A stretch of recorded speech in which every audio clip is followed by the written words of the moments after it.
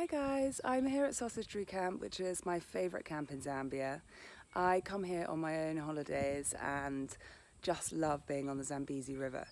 I can actually see Mana Pools in Zimbabwe um, over the Zambezi. It's directly in front of me and so I wanted to just draw a little bit of attention to them. They have only had 8,500 cases and 250 tragic deaths. They peaked in uh, July, so it's very much on its way out. And uh, speaking to my colleagues on the ground in Harare and in Vic Falls every day, they are certainly, certainly um, working really hard to keep uh, Zimbabwean nationals and tourists safe alike. So we're really confident that if you do want to do a classic Zambia and Zimbabwe combination, um, everything will be safe and you know again it's just bliss being out here with no other people.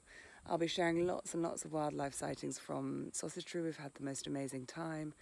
Uh, but in the meantime don't forget that uh, zimbabwe has also done really really well with its covid protocols and we hope to continue seeing it do so